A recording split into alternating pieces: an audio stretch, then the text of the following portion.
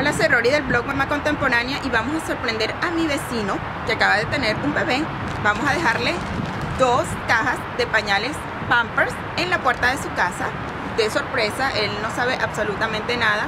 Eh, ustedes, por supuesto, me van a acompañar en esta aventura rara y loca.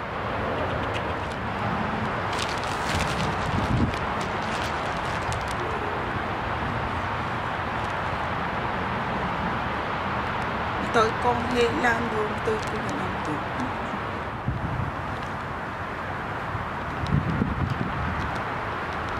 Bueno, aquí vamos caminando a la casa de mi vecino. Él vive exactamente al lado, así que pues no necesito el carro.